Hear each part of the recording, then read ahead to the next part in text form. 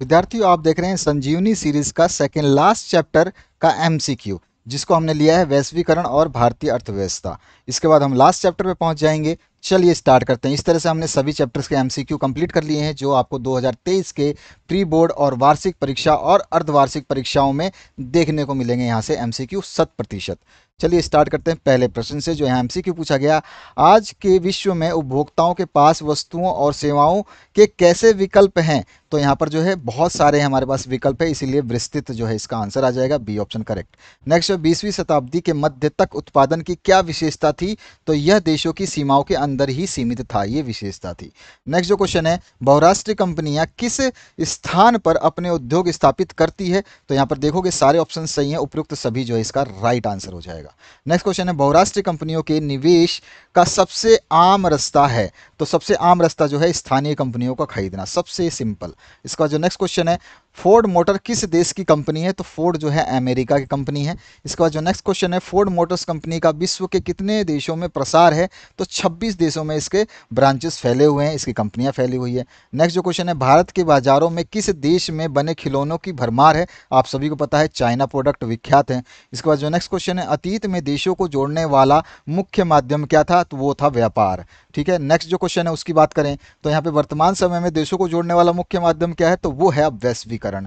Next जो question है, उसकी बात करें तो बहुराष्ट्रीय कंपनियों का सबसे अधिक लाभ किसे हुआ है? तो सबसे अधिक लाभ जो है, शहरी क्षेत्र के धनी उपभोक्ताओं को। ये ऑप्शन करेक्ट नेक्स्ट जो क्वेश्चन है, संचार प्रौद्योगिकी का रूप है। तो यहाँ पे सारे के सारे आप देख रहे हैं, संचार का रूप है तो यहाँ पे आपका D option correct next question है, छब्बीस जून दो हज़ार चौदह में विश्व व्यापार संगठन के सदस्य देशों की संख्या जो है, एक सौ साठ। कब? 26 जून 2014 इसके बाद है वैश्वीकरण से किस वर्ग को नुकसान हुआ है? तो सबसे ज़्यादा छोटे उत्पादक को।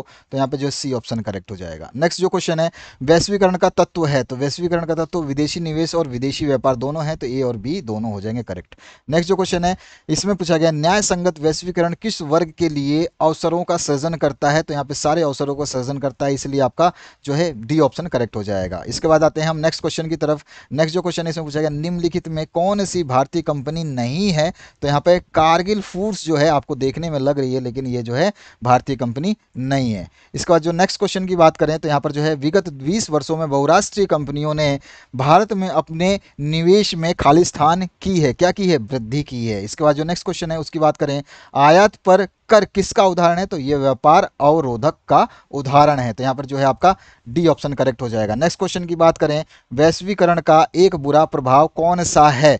तो बढ़ती प्रतियोगिता व छोटे विनिर्माणों को विनिर्माणकर्ताओं यानी निर्माणकर्ताओं या उद्योगकर्ताओं को हानि। ठीक है? तो ये सबसे बड़ा जो है एक बुरा प्रभाव देखने को मिलता है। नेक्स्ट जो क्वेश्चन है, इसमें पूछा गया है, विश्व के 26 देशों में प्रसार के साथ विश्व की सबसे बड़ी मोटर गाड़ी निर्माता फोर्ड मोटर्स भारत में कब आई? तो ये उन्नीस में जो है भारत में आ गई थी, यानी कि कदम रख दिया था। उसके बाद जो नेक्स्ट क्वेश्चन है, इसमें जो कॉल सेंटर किस प्रकार की सेवाएँ उपलब्ध कराता है तो एक ग्राहकों को जो है सूचना कर सूचना देता है और उसकी मदद करता है। तो यहाँ पे जो है ए ऑप्शन करेक्ट हो जाएगा। आप भी जानते हैं इस चीज़ को। नेक्स्ट जो क्वेश्चन है, वर्ष 2017 तक फोर्ड मोटर्स ने भारतीय बाजारों में कितनी कारें बेची तो इसने अट्ठासी हज़ार कारें बेच दी थी 2017 तक। उसके बाद जो नेक्स्ट क्वेश्चन है, उसकी बात करें। भारतीय खिलौनों खिलौना निर्माताओं पर चीनी खिलौनों का क्या प्रभाव पड़ा है? तो बहुत ज़्यादा जो है नुकसान हुआ है भारतीयों को। तो यहाँ पर जो आपका क्या आ जाएगा आंसर? तो नुकसान हुआ है। सी ऑप्शन करेक्ट हो जाएगा। नेक्स्ट क्वेश्चन की बात करें तो बहुराष्ट्रीय कंपनियों की उत्पादन प्रक्रिया विश्व भर में क्यों फैली हुई है? तो उसका क्या रीज़न हो जाएगा? ताकि जो है आपका क्या हो जाएगा? ताकि जो है यहाँ पर ताकि उत्पादन की लागत कम हो और बहुराष्ट्रीय कंपनियाँ अधिक लाभ कमा सके। तो यही बहुराष्ट्रीय कंपनियों के उत्पादन की प्रक्रिया देश भर में इसीलिए फैली हुई है। तो यहाँ पर जो है क्या है? आपका ई ऑप्शन जो है करेक्ट हो जाए, ताकि उत्पादन की लागत कम हो जाए और जो है बहुराष्ट्रीय कंपनियाँ अधिक लाभ कमा सकें। नेक्स्ट जो क्वेश्चन है, इसमें पूछा गया, भारत में केंद्र और राज्य सरकारों ने विदेशी कंपनियों को आकर्षित करने के लिए कौन से कदम उठाए हैं? तो यहाँ पे जितने भी कदम है ना, ये सारे उठा दिए हैं इन्होंने। तो यहाँ पे डी ऑप्शन करेक्ट हो जाएगा सभी। यहाँ पर जो है, अमेरिका के सकल घरेलू उत्पाद में कृषि का हिस्सा कितना है? तो केवल मात्र एक प्रतिशत। इसके बाद जो नेक्स्ट क्वेश्चन की बात करें तो निम्नलिखित में से किस क्षेत्र ने भारत में वैश्वीकरण के कारण लाभ नहीं उठाया है तो वो वैश्वीकरण केवल एक ही चीज़ को नहीं लाभ दे पाई है, कृषि क्षेत्र को। इसके बाद जो नेक्स्ट क्वेश्चन है आपका, सत्तर से अस्सी प्रतिशत दुकानों में भारतीय खिलौनों के स्थान पर किस देश के खिलौने की भरमार हो गई है तो वो है चाइना। इसके बाद जो नेक्स्ट क्वेश्चन है, उसकी बात करते हैं। न्याय संगत वैश्वीकरण के लिए कौन से उपाय किए जा सकते हैं? तो हमारे जो यहाँ पे जितने भी उपाय हैं, ये न्याय संगत के लिए किए जा सकते हैं। उपयुक्त सभी जो है आपका सही हो जाएगा। नेक्स्ट क्वेश्चन की बात करें, विश्व व्यापार संगठन क्या है? तो यहाँ पर आपका क्या आंसर होना चाहिए? तो यहाँ पे अगर आप पूरे पढ़ते हो तो विश्व व्यापार संगठन अंतर्राष्ट्रीय व्यापार से संबंधित नियमों को निर्धारित करता है तथा अंतर्राष्ट्रीय व्यापार के अवरोधों को खत्म करता है। ये बिल्कुल सही है, यही है विश्व व्यापार संगठन।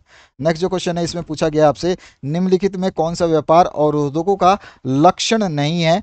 हमारा आंसर हो जाएगा, विश्व व्यापार संगठन व्यापार और उद्योगों को बढ़ावा देता है, ये उसका लक्षण नहीं है। तो यहाँ पे जो सी ऑप्शन है, ये इसके हिसाब से करेक्ट हो जाएगा। नेक्स्ट जो क्वेश्चन है, भारत में लघु उद्योगों में कितने लोग कार्यरत हैं? लघु उद्योगों में लगभग दो करोड़ लोग जो हैं कार्यरत हैं। बी ऑप्शन करेक्ट हो जाएगा। इसके बाद निम्नलिखित में से कौन सी भारतीय कंपनियाँ, कंपनी, बहुराष्ट्रीय कंपनी के रूप में जो है उभर चुकी है? तो यहाँ पर देखोगे, सारी की सारी जो है बहुराष्ट्रीय एम के रूप में रैन रैनबैक्सी बहुत बड़ा ग्रुप है अपने आप में मेडिकल सेवाएँ देता है। एशियन पेंट्स का नाम सुना होगा। हर घर में हर घर में खुशियाँ सजाएँ, ऐसे कुछ करके उसका एडवर्टाइज आता है। टाटा मोटर्स का नाम आपने सुन रखा है तो उपयुक्त सभी जो है एमएनसी कंपनियाँ, यानी बहुराष्ट्रीय कंपनियों में शामिल है। भारत सरकार ने उदारीकरण की प्रक्रिया किस वर्ष प्रारंभ की थी? तो उन्नीस सौ इक्यानवे में उन्होंने प्रारंभ कर दी। उसके बाद जो नेक्स्ट क्वेश्चन है, अमेरिकी बहुराष्ट्रीय कंपनी कारगिल फूड्स ने कौन सी भारतीय कंपनी को खरीदा? तो इसने परख फूड्स को खरीद लिया था। अभी ये क्वेश्चन भी आया होता बी ऑप्शन जो है करेक्ट हो जाएगा। नेक्स्ट क्वेश्चन जो है, विदेशी व्यापार से क्या तात्पर्य है? विदेशी व्यापार का मतलब होता है, दो देशों के बीच में आयात या निर्यात का हो जाना। तो यहाँ पर जो है हमारा ए ऑप्शन करेक्ट हो जाएगा। इसके बाद जो नेक्स्ट क्वेश्चन है, इसमें बात करें, एक कंपनी जो एक से अधिक देशों में उत्पादन पर नियंत्रण अथवा स्वामित्व रखती है, वो बहुराष्ट्रीय कंपनियाँ कहलाती हैं। इसके बाद जो नेक्स्ट क्वेश्चन है, उसकी बात करें, घरेलू बाज़ार में बहुराष्ट्रीय कंपनियों का आगमन किसके लिए हानिकारक सिद्ध हो सकता है? तो ये जो है कम गुणवत्ता वाले घरेलू उत्पादक जो हैं, जो कम गुणवत्ता वाले गुड क्वालिटी के प्रोडक्ट नहीं बनाते, उनके लिए तो बहुत खतरनाक हो सकता है। सी ऑप्शन करेक्ट हो जाएगा। अगला जो है परिसंपत्तियों जैसे भूमि, भवन, मशीन और अन्य उपकरणों की खरीद में व्यय की गई मुद्रा को क्या कहते हैं तो इसको बोलते हैं हम निवेश। ठीक है? इन्वेस्टमेंट यानी कि ये ऑप्शन करेक्ट हो जाएगा। बहुराष्ट्रीय कंपनियों द्वारा किए गए निवेश को क्या कहते हैं तो इसको विदेशी निवेश कहते हैं फॉरन इन्वेस्टमेंट कहते हैं बी ऑप्शन करेक्ट हो जाएगा। 2018 तक कितने देश विश्व व्यापार संगठन के सदस्य थे? 2018 तक की बात कर रहा है तो एक थे 164 और विभिन्न देशों के बीच संबंध और तीव्र एकीकरण की प्रक्रिया क्या कहलाती है तो इसको हम वैश्वीकरण कहते हैं, सभी जानते हैं, ग्लोबलाइजेशन। इसके बाद में भारत सरकार द्वारा व्यापार अवरोधों को तथा प्रतिबंधों को हटाने की प्रक्रिया जो है, उदारीकरण कहलाती है।